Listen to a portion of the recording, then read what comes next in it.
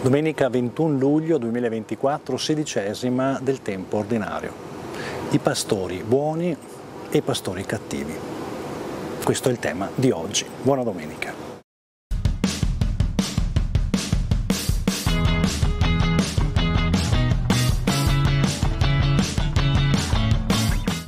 Continuiamo con le letture profetiche in questa calda estate del 2024. Questa volta è il profeta Geremia che parla, uno dei grandi quattro profeti dell'Antico Testamento.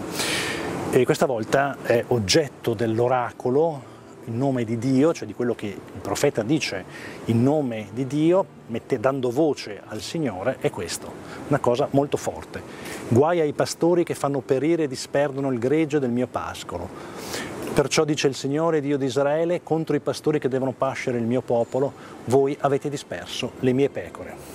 Questa volta l'oracolo si scaglia contro quelli che per mandato sono chiamati ad accogliere ed accompagnare il popolo di Dio, cioè i sacerdoti nell'Antico Testamento, ma può essere applicato ad ogni pastore, ad ogni persona che assume l'incarico, la missione nella sua vita di accudire e di insegnare quello che è il grande insegnamento di Dio, e cioè l'amore. Ecco, questi sacerdoti nell'accusa di Geremia hanno pensato più a se stessi che al gregge.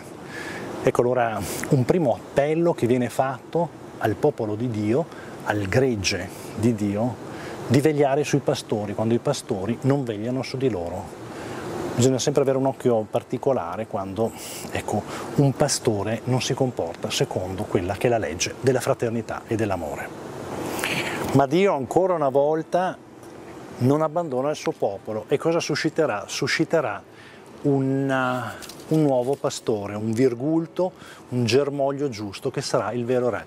Lo farà nella casa di Davide. Anticipa il Signore Gesù, il Signore Gesù che nascerà secoli dopo. Ecco, il grande pastore verrà inviato proprio per eh, dare l'ultima parola definitiva ed essere il pastore che non abbandona mai le sue pecore. E il Vangelo ci parla proprio, ci parla eh, della parte finale di quello che abbiamo ascoltato domenica scorsa, cioè i discepoli mandati a due a due che ritornano e eh, riferiscono a Gesù come sono andate le cose e lui li chiama in disparte. Ecco allora, ognuno di noi per il battesimo è inviato da Gesù ad annunciare l'amore di Dio, ad annunciare la fraternità come non tutti con la predicazione, la maggior parte di noi con la testimonianza. Ecco, ognuno di noi è pastore del fratello e della sorella, cioè ha una responsabilità verso di lui e verso di lei, delle persone che incontriamo e di questo ci verrà chiesto conto nell'ultimo giorno.